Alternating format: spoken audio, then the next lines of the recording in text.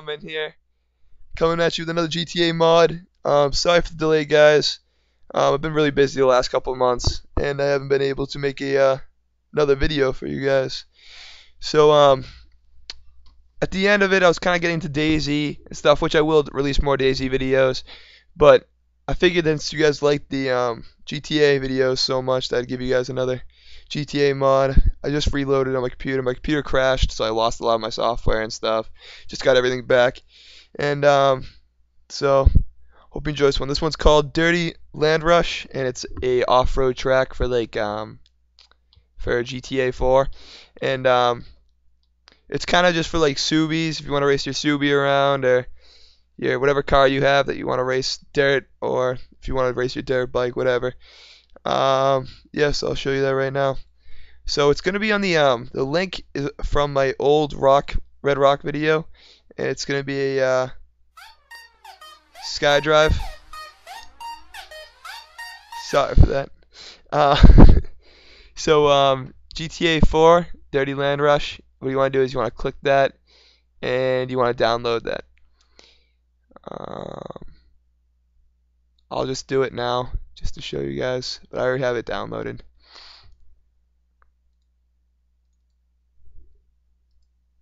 Alright, so once you see that, you'll press save, save as, and you want to bring it to one of your folders.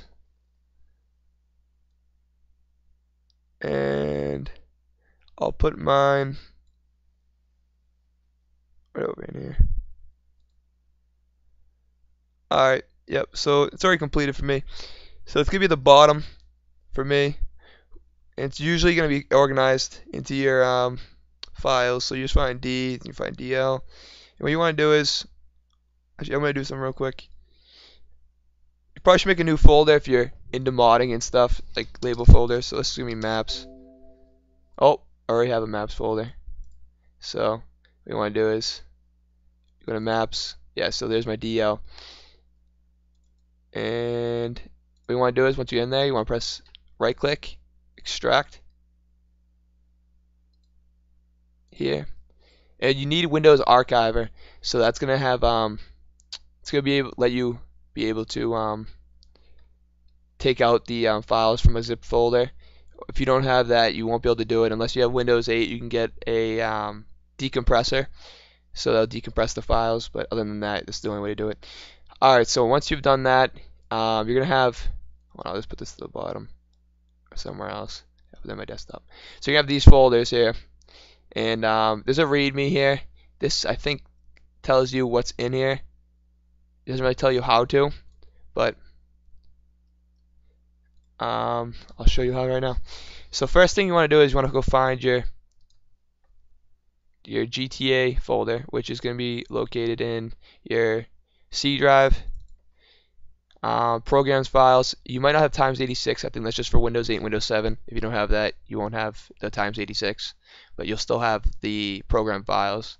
So you find Rockstar Games, Grand Theft Auto. So you get to this folder, and you want you want to do is you want to move this folder over here, and just make it a little bit smaller. Then move this one over here.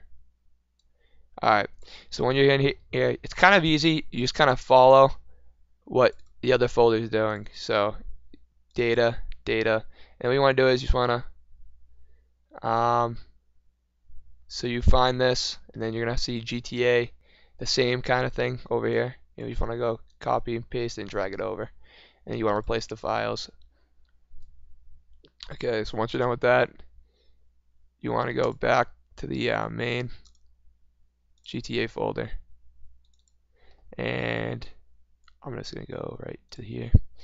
And you want to go find PC, to PC, to data, to data, maps, maps. And I, I see I already have Dirty Land Rush, so I'm not going to put it back in there, but when you just do the same thing, you just kind of just drag it over and drop it. And once you're done with that, come back to the main folder, and you go back to the main folder, and there's one last little thing. It's objects ini. This is very important. This will load in the um, objects around so you don't fall through the uh, middle of the map, stuff like that. Okay, and so then you just X out and you're ready to play.